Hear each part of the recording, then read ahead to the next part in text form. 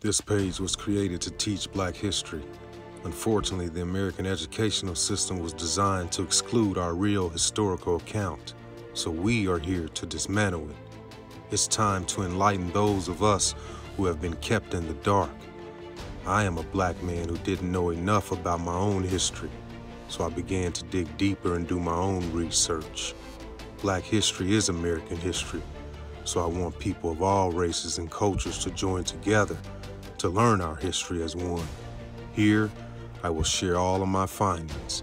Please like, follow, share, and subscribe to Teaching Black History. The story of Dr. Patricia Era Bath. Born in 1942 in Harlem, New York, Patricia was the daughter of Rupert and Gladys Bath. Her father was an immigrant from Trinidad a newspaper columnist, a merchant seaman, and the first black man to work for the New York City subway as a motorman. Her father inspired her love for culture and encouraged her to explore different cultures. Her mother was a descendant from African slaves and Cherokee Native Americans. Throughout her childhood, Bath was often told by her parents to never settle for less than her best and have been encouraged by their support of her education. Her mother encouraging her dreams and love of science had brought her first chemistry set by the time she had reached high school. Bath was already a National Science Foundation scholar. This led to her cancer research, earning a front page feature in the New York Times.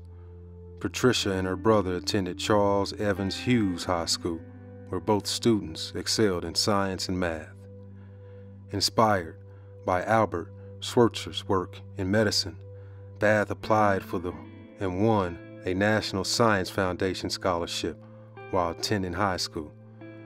This led her to a research project at Yeshiva University and Harlem Hospital Center, studying connections between cancer, nutrition, and stress. Bath had studied the effects of streptomycin residue on bacteria. Through this, she was able to conclude that cancer itself was a disease and tumor growth was a symptom. She had also discovered a mathematical equation that could be used to predict cancer cell growth.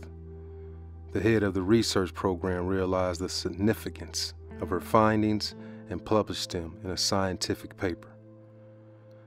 Bath received her Bachelor's of Art in Chemistry from Manhattan's Hunter College in 1964.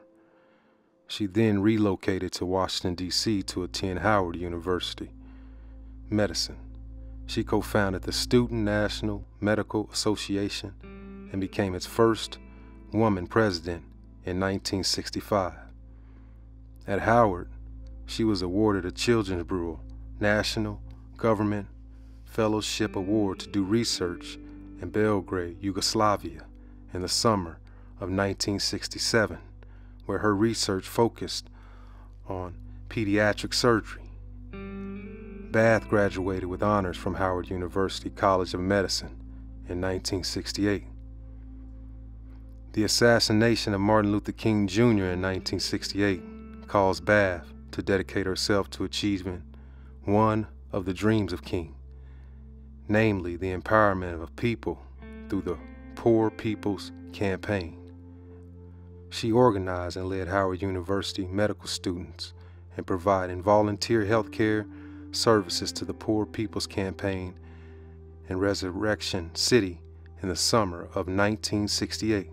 Prior to beginning her ophthalmology residency study at NYU in 1970, she was awarded a one year fellowship from Columbia University to study and contribute to eye care services at Harlem Hospital. She began to collect data on blindness and visual impairment at Harlem Hospital, which did not have any ophthalmologists on staff. Her data and passion for improvement persuaded her professors from Columbia to begin operating on blind patients without charge at Harlem Hospital Center. Bath was proud to be on the Columbia team that performed the first eye surgery at Harlem Hospital in November 1969. She served her residency in ophthalmology at New York University from 1970 to 1973, the first African American to do so. She got married and had a daughter, Erica, in 1972. She was appointed Assistant Chief of the King Drew UCLA Ophthalmology Residency Program in 1974 and was appointed Chief in 1983. At both institutions, she rose to the rank of Associate Professor.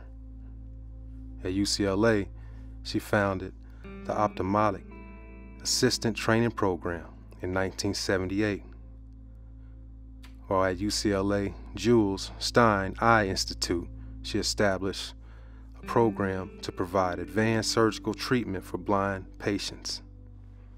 The program continues today as the KPRO, and thousands of patients have had their eyesight mm-hmm. restored with this innovative technology. In 1983, Bath was appointed chair of the King Drew UCLA Ophthalmology mm. Residence Program, becoming the first woman in the U.S. to head an ophthalmology residency program. In 1993, she retired from UCLA, which subsequently elected her the first woman on its honorary staff. Based on her observations at Harlem Hospital, Bath published the first scientific paper showing the higher prevalence of blindness among blacks. Bath also found that African American people had eight times higher prevalence of glaucoma as a cause of blindness. Based on her research, she pioneered the worldwide discipline of community ophthalmology in 1976. After observations of epidemics rates of preventable blindness among underserved populations in urban areas in the U.S., as well as underserved populations in third world countries. Bath's main humanitarian efforts can be seen through her work at the American Institute for the Prevention of Blindness. Founded in 1976, this organization had been created on the principle that eyesight was a basic human right.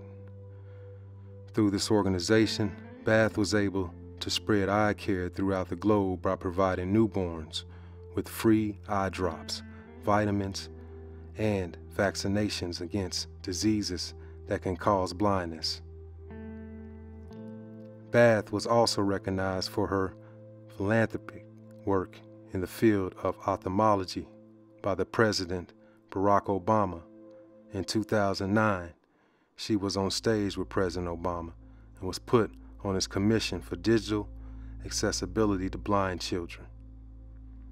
In April 2019, Bath testified in a hearing called The Trailblazers and Lost Einsteins Women Inventors and the Future of American Innovation. Here, Bath showed the gender discrepancies in the STEM field and lack of female inventors. Bath coined the term laser phaco for the process, short for laser photo ablative cataract surgery, and developed the laser phaco probe, a medical device that improves on the use of lasers to remove cataracts and for removing cataract lenses. Bath first had the idea for this type of device in 1981, but did not apply for a patent until several years later. The device was completed in 1986 after Bath conducted research on lasers in Berlin and patented in 1988, making her the first African American woman to receive a patent for a medical purpose. The device, which quickly and nearly painlessly dissolves the cataract with a laser, irrigates and cleans the eye and permits the easy insertion of a new lens, is used internationally to treat the disease. Bath has continued to improve the device and has successfully restored vision to people who have been unable to see for decades. Bath holds five patents in the United States Three of Bath's five patents relate to the laser phaco probe. In 2000, she was granted a patent for a method for using pulsate ultrasound to remove cataracts, and in 2003, a patent for combining laser and ultrasound to remove cataracts. Bath died on May 30th, 2019, at a University of California San Francisco Medical Center from cancer related complications at the age of 76.